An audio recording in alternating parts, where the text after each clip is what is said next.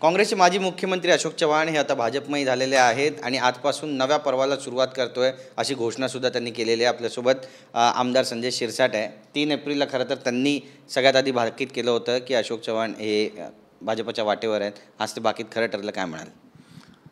मी हे बाकीत अजितदादाबद्दलही केलं होतं आणि अशोक चव्हाणबद्दलही केलं होतं. तर त्या टायमाला अशोक चव्हाण असे बोलले होते की हे आजकाल भविष्यकार झालेले आहेत.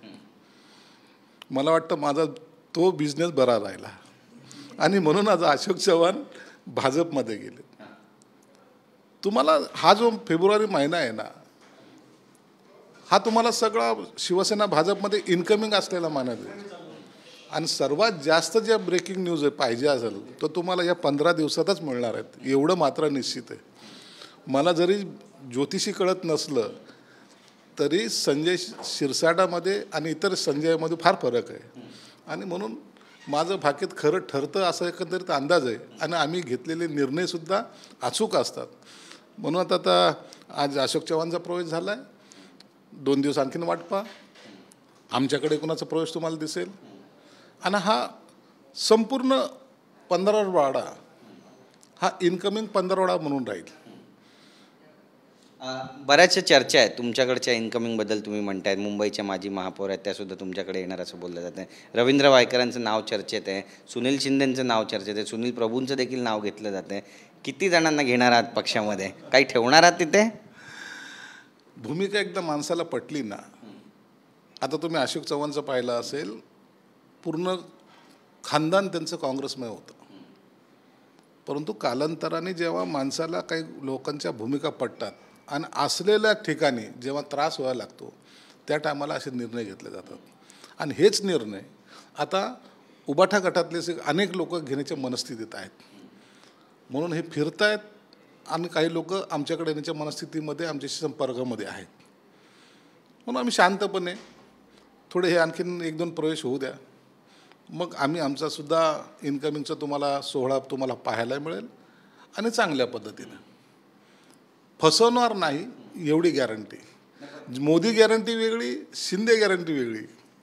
आणि म्हणून हे दोन्ही दाढीवाले जे आहेत जेव्हा गॅरंटी देतात ते परिपूर्ण करतात. हा विश्वास जेव्हा लोकांमध्ये निर्माण झाला आहे त्यामुळे ही इन्कमिंग सुरू झालेली आहे. पण एक सगळ्यात महत्त्वाचा प्रश्न आहे की जे कोणी तुमच्या पक्षात येतात विरोधक त्यांच्यावर टीका करतायत आज पुन्हा संजय राऊतांनी टीका केली म्हणतात की भ्रष्टाचारी जनता पार्टी आहे. जेवढे भ्रष्टाचारी ते भाजपमध्ये जातात आदर्श घोटाळ्याचा पण ते या ठिकाणी उल्लेख करताना विसरले नाही आहेत तुम्हाला काही दिवसानंतर संजय राऊतसुद्धा कुठं गेलेला दिसेल तुम्हाला? थोडं थांबा हो.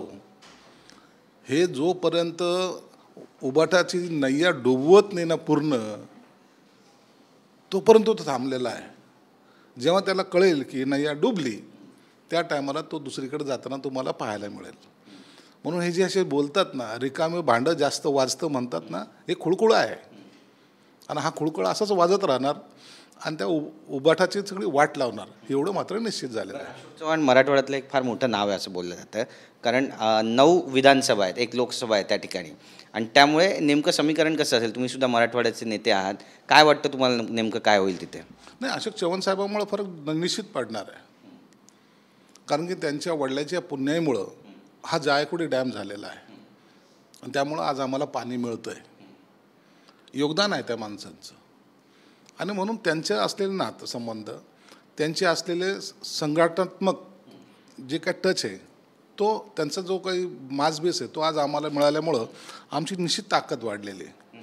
आणि म्हणून आता मराठवाड्यामध्ये आम्हाला कुणी हात लावेल किंवा कुणी हरवेल हे शक्यच नाही आता. पण एक चर्चा अशी पण आहे कारण विरोधी पक्षनेते अंबादास दानवे आहेत की आधी देवेंद्र फडणवीसांनी टीका केली होती ते लीडर नाही आहे डीलर आहे असं म्हटलं होतं नांदेडचे. आणि आता त्यांनाच पक्षात प्रवेश घेतला. वॉशिंग मशीन आहे म्हणतात. मग आता पहिले हे पण तर मोदीचेच पाया पडत होते ना आता टीका करतायत ते. हे मोदी मोदी नव्हते करत. हे पाया पडत नव्हते. म्हणजे एखाद्याने भूमिका बदलली की तो डायरेक्ट त्याला फासावर लटकवायचं आणि हे जेव्हा वारंवार भूमिका बदलतात यांना काय म्हणायचं? हे तर न वाकून पाया पडत होते. आणि म्हणून एखाद्याने चांगली भूमिका घेतली की यांचा पोटसूळ उठतो. यांना वाटतं की नाही आता हे काही खरं नाही. पण त्याच्या मनातल्या मनात त्यांनाही माहिती आहे. अंबादासला सुद्धा माहिती आहे की आपल्याला सुद्धा जास्त वेळ इथं राहायचं नाही. पण अशोक चव्हाण यांच्या भाजप पक्षप्रवेशानंतर राज्यसभेची जी समीकरणं आहेत ती बदलतील पूर्णपणे? बदलतील ना शक्यता आहे. एक जी काँग्रेसची जागा आहे ती पण जाईल असं वाटतं तुम्हाला? कारण तिथे मताधिक्य कमी होईल असं बोललं जातं या सर्व पत्ते आज उघड करता येणार नाही. परंतु निश्चित जी भाजपने जी काही एक जागा एक्स्ट्रा लढवायची ठरवली त्याच्या मागचे गणित आता तुम्हाला लक्षात आले असतील. म्हणून काँग्रेसची मतं आणखीन घेऊन काँग्रेस भुईसपाट होणार आणि ह्या पाचही जा- सहाही जागा या शिवसेना भाजपला मिळणार. धन्यवाद आमच्याशी बोलल्याबद्दल तर संजय शिरसाट यांनी मोठं भाकीत पुन्हा एकदा या ठिकाणी केलेलं आहे. हे भाकीत खरं ठरणार आहे का? पाहणं महत्त्वाचं ठरेल. Camera person संतोषचा Girish Gaikwad T V nine Marathi Mumbai.